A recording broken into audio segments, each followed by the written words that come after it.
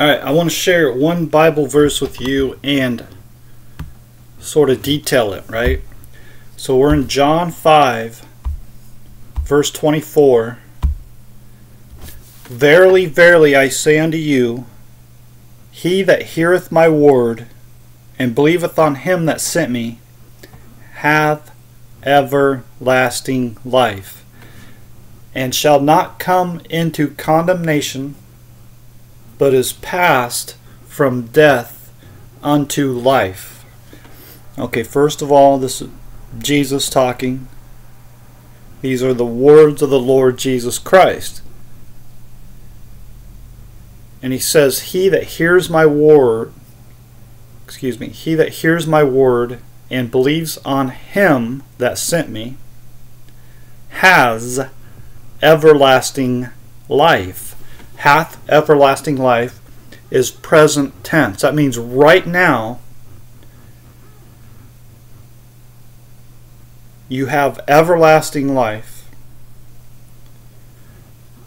and shall not come into condemnation. That means you can't be condemned for anything at all, but is passed from death unto life. Okay, so uh, first of all, you believe on the Lord Jesus Christ. That means you have everlasting life. That means you are born of God. So if we go to John 3, Jesus says, Verily, verily, I say unto you, or say unto thee, except a man be born of water and of the Spirit, he cannot enter into the kingdom of God. Except a man be born of water and of the Spirit, he cannot enter into the kingdom of God. So being born of the water means being born from the water of your mother's womb. And being born of the Spirit means being born from the Spirit of God, which is from above. That which is, excuse me, that which is born of the flesh is flesh, and that which is born of the Spirit is spirit. Marvel not that I say unto thee, ye must be born again. All right, so think about that. So you're born of the Spirit of God. That means you have God, the Spirit of God, inside of you. And you shall not come into condemnation. Can't be condemned for anything after you are born of the Spirit of God. And it says, but is passed from death unto life. So when you are passed from death unto life, you cannot then return back to death. Otherwise, it's not everlasting life, and otherwise, you are condemned. You are passed from death unto life. You are a new creature. All right, uh, and why people have a problem with this is either because they're extremely ignorant or they themselves are not saved. All right, so 2 Corinthians 5, verse 17. Therefore, if any man be in Christ, he is a new creature. Old things are passed away. Behold, all things are become new. All right, so once you are born of the Spirit of God, there is no more condemnation. Now let's go one more verse. Uh,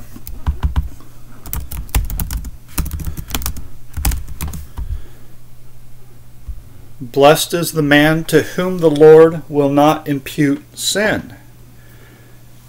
And that again follows what this says here and shall not come into condemnation.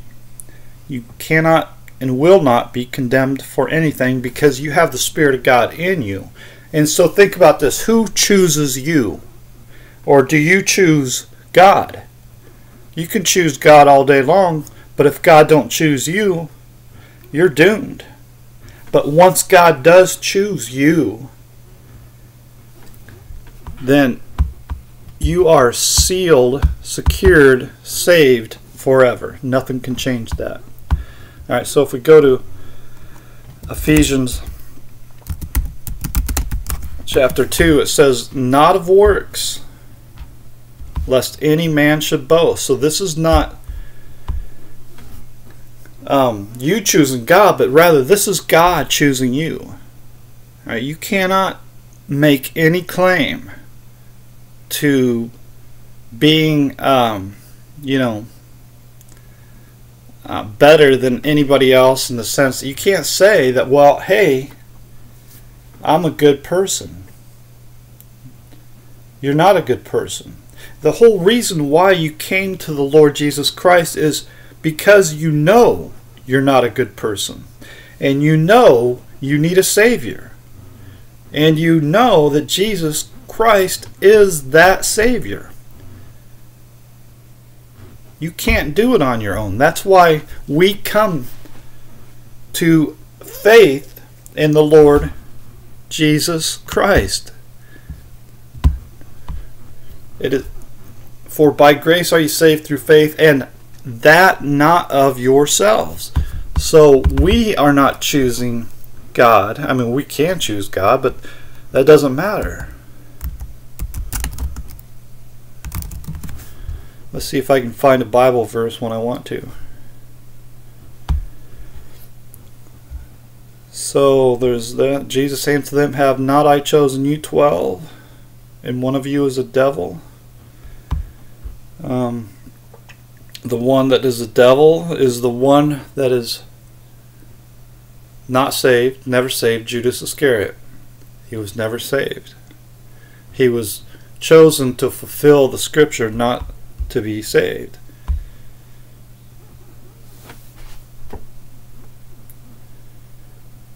So we go to John 15. Ye have not chosen me, but I have chosen you and ordained you that ye should go and bring forth fruit, and that your fruit should remain, and that whatsoever you shall ask in, of the Father in my name, he may give it to you. This is speaking of everybody that is saved, everybody that is born of the Spirit of God.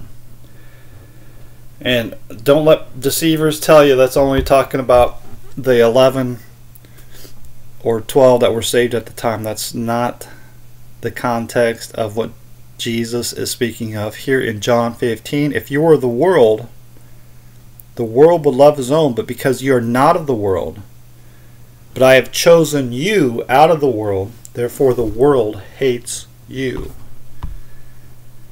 Alright, and then let me leave you with this.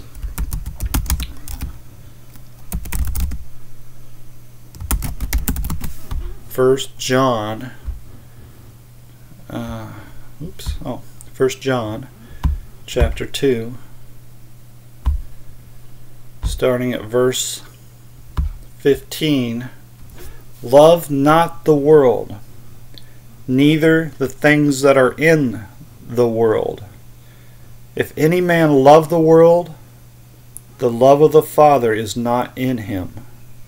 For all that is in the world, the lust of the flesh, the lust of the eyes, and the pride of life is not of the Father, but is of the world. And the world passes away, and the lust thereof. But he that doeth the will of God abideth forever. The will of God is to believe on the Lord Jesus Christ. It, God is not willing that any should perish, but all should come to repentance, to belief in the Lord Jesus Christ. And now let's go over John, uh, what we just read in John 15, and then I'll end it. So if I can find it real quickly. Um, ye have not chosen me, but I have chosen you and ordained you that you should bring, that you should go and bring forth fruit, and that your fruit should remain. The fruit is what you believe and what you teach. All right, so believing in the Lord Jesus Christ remains forever. Teaching the gospel, good news of the Lord Jesus Christ remains forever. That's the fruit that remains. All right. Don't let people, deceivers, teach you or tell you that the fruit is going out there and giving money to to the false teacher or whatever. You know, I mean, really, that's what they're they're that's what they will teach.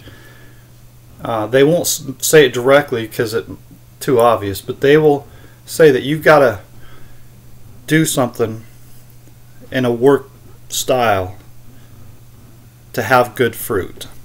But no, good fruit is your belief, what you believe, and what you teach, what you share with others, has nothing at all to do with giving money to Reverend Schmitty or, you know, donating to, uh, you know, Jerry Lewis kids or whatever, that sort of stuff. There's a lot of good things you can do, but that's not what this means. Your fruit is your faith in the Lord Jesus Christ.